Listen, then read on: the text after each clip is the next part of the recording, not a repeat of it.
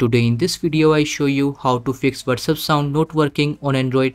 For this the first thing you can do is press and hold the WhatsApp app. Click on app information icon. Now click on notifications and make sure that this allow notification toggle is turned on. After doing this, if your WhatsApp sound is still not working, then you have to open WhatsApp.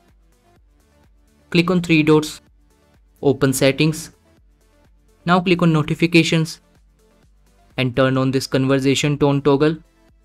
You can also go back and check if you have any chat with this icon. If this mute notification icon is showing, then open the chat.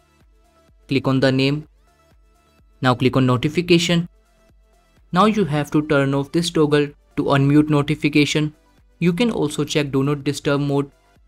If do not disturb mode is enabled, then you have to disable it to receive notification sound on Android. So this is how you can fix WhatsApp notification sound not working on Android. Thank you for watching this video. Please like this video and subscribe to my channel for more interesting videos like this.